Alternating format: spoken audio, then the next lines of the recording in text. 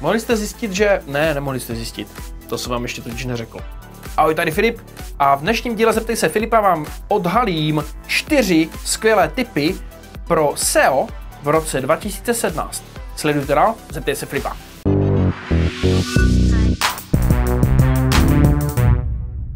Je potřeba zvýšit kvalitu obsahu. To už jste mohli slyšet na spoustě konferencích, mohli jste to slyšet z článků, teda spíš si to přečíst, slyšet to z audio podcastů a z různých dalších videí, které určitě taky uh, vám budou hlásat, hlavně vytvořte kvalitní obsah. A teď samozřejmě uh, jde ta kontraotázka, jak mám vytvořit kvalitní obsah? No tím, že vytvoříte kvalitní obsah. že ho jednak nebudete duplikovat, kopírovat, že vytvoříte stručný a jednoznačný a uh, užitečný obsah. A je to. A pak máte kvalitní obsah. Pak samozřejmě to, jak ho distribuujete, je ta druhá část, která je taky neméně těžká. V roce 2017 je jedna z největších výzev pro SEO vytvořit co nejstručnější takový komprimovaný článek nebo takový obsah, který za co nejmíň slov zbytečných řeknete co nejvíc. Už nebude platit to, že, jak vám někdo může tvrdit, je potřeba napsat ten článek co nejdelší, eh, na tři tisíce slov, aby to jako vyhledávač jako přelouskla a řekl si, hm, tady je dostatek textu, takže tohle umístím ve vyhledávači na lepší pozici, protože ten člověk tam asi o tom hodně mluví. Mm-mm. Už teďka bude hrát velkou roli, jak stručně napíšete tu stejnou věc a předáte ty stejné informace. Jestli tam nebudou textové výplně, protože v roce 2017 se hlavně bude vyhledávač zaměřovat na to, aby uživatel nedostal jenom kvalitní obsah, ale aby ten kvalitní obsah dostal i tak, že ho nebude číst jako půl roku. že ho třeba bude číst kratší dobu. Zkracovat obsah a dělat ze složitých věcí jednodušší bude velký téma pro rok 2017.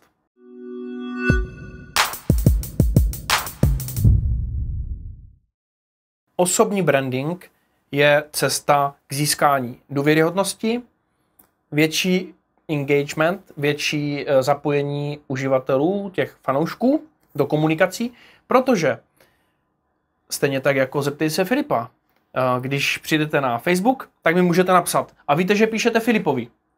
Když mám agenturu síla webu, když tam budete psát, tak píšete jako čemu, komu. Jako to je síla webu, to je jako, že píšu nějaké nálepce, nebo to je nějaký odznáček, jo. Je vždycky lepší, nebo ne vždycky, ale je to vždycky lep... Tak není to vždycky, nebo je to vždycky? Ne, není to vždycky, ale je to někdy lepší mít osobní značku, protože povšimněte si u youtuberů, jakou silnou značku mají a přitom neprodávají žádný produkt. Nespojíte si třeba Casey Neistat s nějakým konkrétním produktem. On by mohl klidně prodávat ty kamery, že jo, když tam má eh, namakaný ruce, že může držet tu velkou kameru před sebou, jako všude s tím jezdí na skateboardu a tak. Představte si PewDiePie. PewDiePie uh, nemá žádný produkt, jako který bych si mohl koupit, jako má samozřejmě, ano má. Má tam samozřejmě tu videohru, má tam prostě spoustu různých triček a takovýchhle věcí, to tam jako má. Ale já si první věci nevybavím, že to je ten, jo, to je produkt vlastně. Ale když si řeknu třeba Dr. Dre, tak je tam Beats by Dr. Dre, jsou ty sluchátka, že jo. Tak tam už si ten produkt představím. A je to právě profitování z té značky, z toho osobního brandu. A nebo můžeme říct to nejznámější jméno, Donald Trump, a můžeme vidět ty budovy, které mají jeho, nesou jeho jméno. Přitom některé ty budovy nemusel ani postavit on.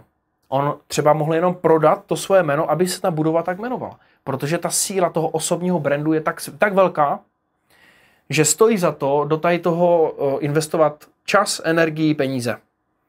A stejně tak, jako u čtenosti třeba různých článků, tak ten osobní brand, nebo ten brand, který nese ta značka, a když ten brand je dobrý, tak já když si zadám nějaké klíčové slovo, očima prohledávám výsledky vyhledávání, jestli tam náhodou není nějaká známá doména, které já už věřím.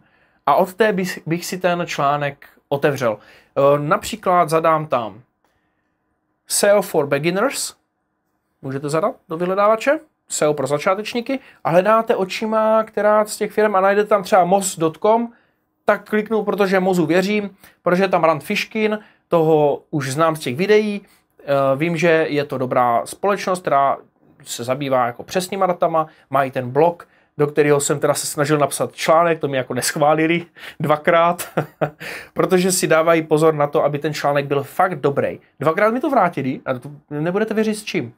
Že bych tam měl ještě doplnit nějakou věc, která se toho týká. Perfektní. Takže oni i ten blog, který tam píšou lidi prostě zvenku, že můžete klidně napsat na blog nějaký svůj článeček se stačí zaregistrovat, tak oni si hlídají i tu kvalitu tam. Perfektní. Perfektní nápad. Osobní brand Rand Fiškina, skvělý nápad, super věc, užitečná věc. A myslím si, že osobní značka vždycky bude o dál, než je název nějaké společnosti. Protože vy máte potom dojem z toho, že se bavíte s konkrétním člověkem. Gary Vaynerchuk je krásný příklad toho, jak postavit osobní brand. A potom ten celý biznis můžete táhnout za sebou díky tomu svýmu jménu. Samozřejmě on teda to tak neříká, že to jako samozřejmě ten wine shop, co má, tak není jo, díky tomu, že on by byl Gary Vaynerchuk, ale protože to dělají dobře, má pravdu, je potřeba dělat věci, věci dobře a postavte si osobní značku, vidíte, jak to může krásně klapat.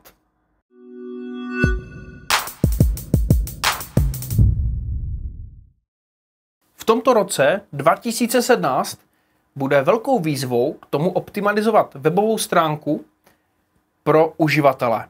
A je to takový to anglické slovíčko user experience, který vlastně říká, že neznamená jenom, že ta stránka bude rychle načtená, to už známe, nebo že ta stránka bude mít logickou navigaci, že budete mít menu, že třeba na posledním uh, políčku v tom menu najdete sekci kontakty, nebo že to ty klasické věci, které běžně hledáte o nás, že jo, nebo historie a takový, který běžně hledáte na tom webu, tak je máte hnedka po ruce.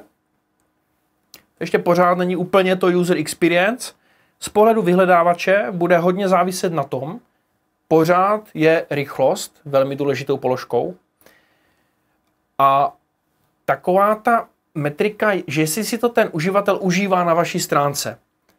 A o čem mluvím? Je to třeba to, že tam bude nízká bounce rate, e, míra okamžitého opuštění té stránky. No, samozřejmě ne, není nic moc, když budete mít vysokou míru opuštění stránky. To znamená, že ten člověk přišel na tu stránku, podíval se, Ježíš, co to je, a vypl to a šel hledat nějaký jiný výsledek, nebo si klikne třeba na tu další pozici ve vyhledávači, která je pod vama, nad vama, prostě různě, nechce se na vaší stránce zdržovat. E, tohle je jedna z věcí. Druhá věc bude i sdílení té stránky třeba na sociálních sítích, nebo e, množství komentářů, nebo čas strávený na té stránce. Když bude další, tím líp pro vás. To znamená, že ten člověk tu stránku čte. A user experience bude velké téma v roce 2017.